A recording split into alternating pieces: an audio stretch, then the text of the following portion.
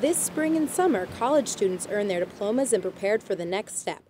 A Georgetown University study uncovered employment rates based on majors for recent grads. I graduated May of 2013. Nursing students had the lowest rate of unemployment. Now I'm working at Mass General as a nurse. Murphy previously worked at MGH as a Northeastern University co op student. Working on the floor beforehand and having the experience and having people know who I am definitely led me to the job. Not all recent grads are as lucky.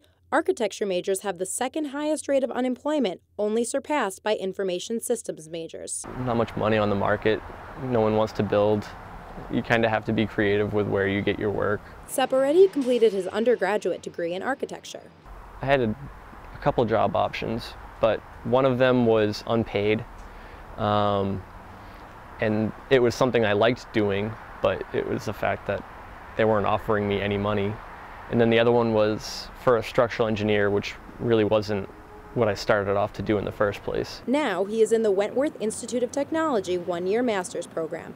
He hopes that a connection with a professor or a former co op will lead to a job. We're doing research into what they want to do, and they're the ones with the money, so they might be able to pay us. All majors examined in the study showed a decreased unemployment rate and an increased salary for those holding a graduate degree. For BUTV 10 News, I'm Molly Koweek.